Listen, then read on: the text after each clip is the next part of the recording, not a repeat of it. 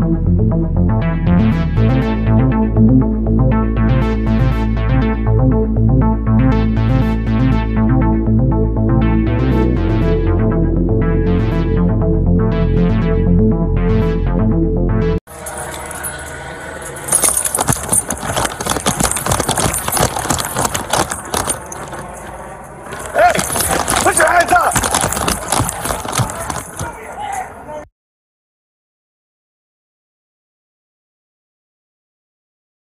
Hey, he's by the gun. Watch out.